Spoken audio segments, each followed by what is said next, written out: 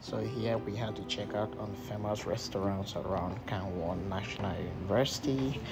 Most of the time during lunch period, I do have my lunch in school. So in this video, here we had to check the school lunch menu, but today I didn't like it. So with my friend Clinton, we decided to go out of school and get lunch. So we got there also with a sister Fulake. She's just from Nigeria.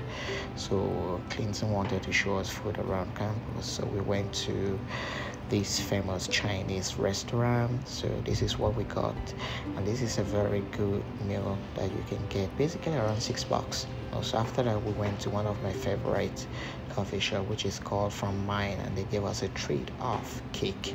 So if you're ever in Kangwon National University, want to hang out with me, or with any of these students let me know. Usually we do this meetup talk about academic life school life and all and whatnot. So see you in my next video. Bye